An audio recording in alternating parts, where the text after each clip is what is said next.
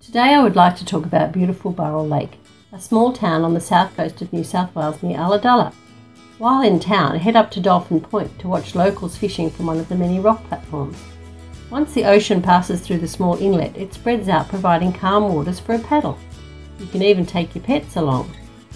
Just off the highway is Lions Park, a popular place for families with plenty of shade, picnic tables, car parking and access to a safe, shallow swimming area.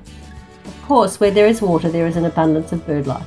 We do enjoy bird watching while travelling around Australia. A range of boats can be used on the lake, many tied up waiting for the next fishing trip. We even saw the local surf club honing their rowing skills near the Big Four Caravan Park.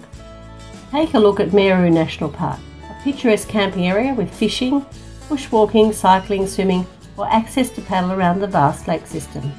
Why not explore the coastline with walking tracks leading to Burrill Beach over the dunes on the northern side of the inlet? This is truly a relaxing place to visit, which is close enough to Sydney and Canberra for a weekend break. For more, see our website rvtrips.com.au. If you have visited this beautiful spot, add a comment on your favourite Burrill Lake experience. Please let us know if you enjoyed the video.